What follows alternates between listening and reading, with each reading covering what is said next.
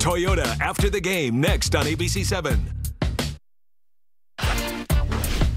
From ABC7, this is Toyota after the game.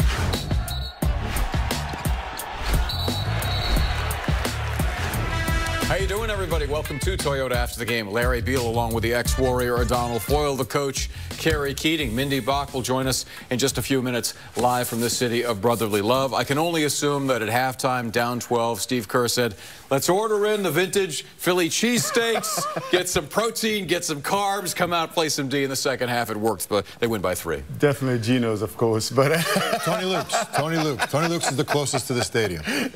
no, but I, I think this is really a tale of two halves. I mean, the first half, I thought the Warriors will look uninterested. They weren't really uh, interested in, in playing defense. And in the second half, they came out, they were more focused. The shots didn't particularly go down any, any better than in the first half, but I think the defensive, um, the, the, attention to defense uh, was very, very key to that. And late fourth quarter, especially Draymond. I think Draymond, when Draymond's engaged defensively, no matter who's on the floor for the Warriors, obviously no Clay tonight, things change dramatically. And obviously, I know Ron Adams is hoping for that a lot earlier than the playoffs, but it still shows that when Draymond is locked in on defense, a lot can change for the better for these Warriors.